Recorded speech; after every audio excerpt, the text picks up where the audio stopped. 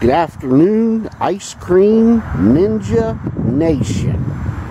It's your big homie, Fat Boy Jim, with another all-in ice cream exclusive with some stuff today. Uh, makes Fat Boy Jim uh, very happy. Uh, Greta. As we know, uh, we put the new grill in. Uh, I'm going to try to get you guys down in here and I'll point to it if you can see that. Uh, that is the clutch adjuster and what I'm touching here that is the clutch cable. And you know what the clutch cable is connected to? That's right fellas and gals and kids and everybody else.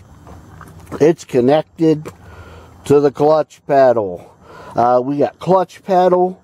We got a transmission. Okay. Uh, let's just jump in here. We also got the uh,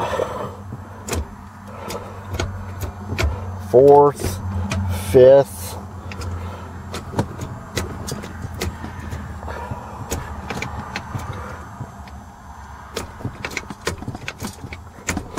well a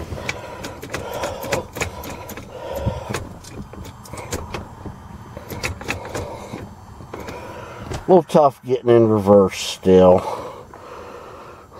It's it's it's definitely headed uh,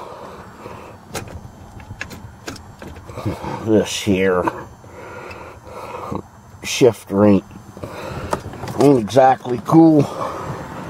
Uh, drive shafts in, everything else.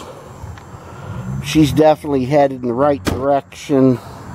I know I keep saying a few days, a few days.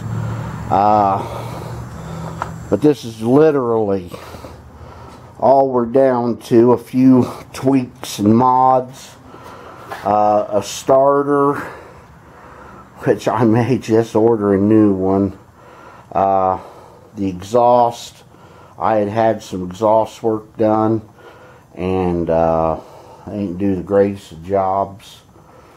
Uh, what do we got over here? We got parts of our console. Uh, we got some new pedal pads. What is that? I don't know. That's okay. Uh, new pedal pads. But yeah, we're definitely going to have to get a new shifter. Uh, I don't know. We're going to see what happens here. But yeah.